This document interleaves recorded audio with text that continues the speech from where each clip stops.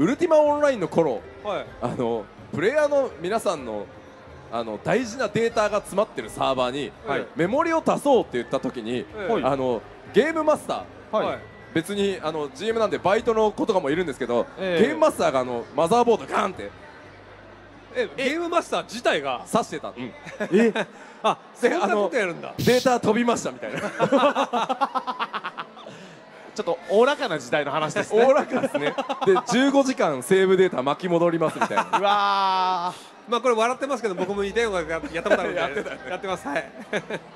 いやいやいや本当にねそういう時代から今に至るまでねこんなんで14で言ったら大惨事ですよ本まあ当に、だって巻き戻りますって言ったら全世界にいるユーザーの15時間が全て無駄になりましたって話ですよね。そうそうそう。でもそれはライブで動かしてるサーバーの時はまあ、はい。一回止めて慎重にエンジニアがやれよって話なんですけど、はい。はいあのインフラチームと、ええ。あの飯食った時に、ええ。データセンターを新しく開ける時に、はいはい。何が一番辛いのって聞いたらあはい。あのまだ通電してないしはい。サーバーデータセンターを作ってる最中、ええ。だから、あのー要はさっきのウルティマの例とは違うんだけどはい。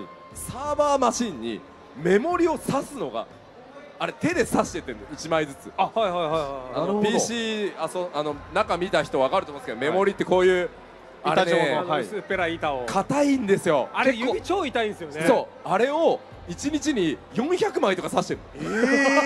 しかもねそれねすごいエンジニアたちが。なるほど。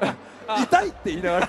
うわー。え400枚メモリさせたい人いない。いやあ一人いた一人。いた一人いた。あのねいやきついよ。このね手のひらのあたりにメモリのねその跡が残るんだって。だってあれって力ずくでやるとバキっていっちゃうからそうそうそう。あの本当に人間が指で丁寧に押してでもかなり強めで押さないとダメなんですごい面倒くさいですよね。でねインフラエンジニアだからメモリを適当に扱ってメモリ壊れてるとはい。起動しないわけですよ、はいはいはいはい。だから慎重にさせたいんだけど400万。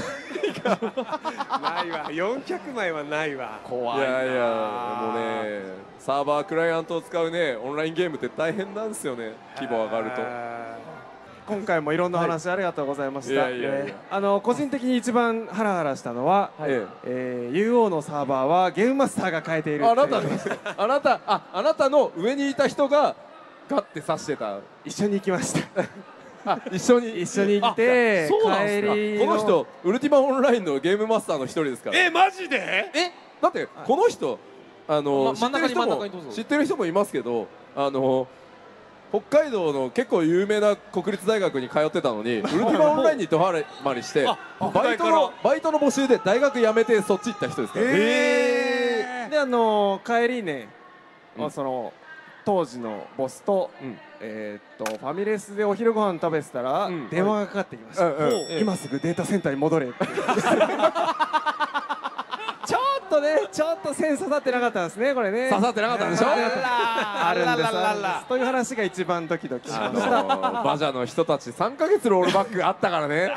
それはそれは違う。データバッハーは私じゃないです。違うよね。日本サー日本サーバーなんですさ大丈夫です。バジャ3ヶ月ロールバックだよ。3ヶ月って。下手するとキャラ消えてるわけだよ。3ヶ月前いないけどまだ。お時間みたいですね。お時間みたいですね